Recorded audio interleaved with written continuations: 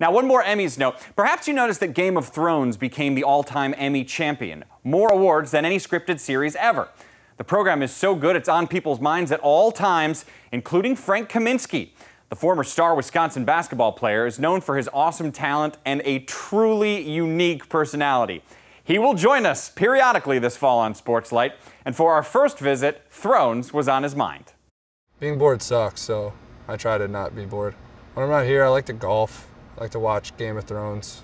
If I was the father of dragons, I would do whatever Khaleesi says.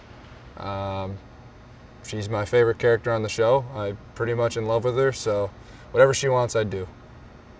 I would name the dragons. Ooh, this is tough. Because they gotta be cool names. Uh, name one of them Maximus. Name one of them Rhône-Royauté.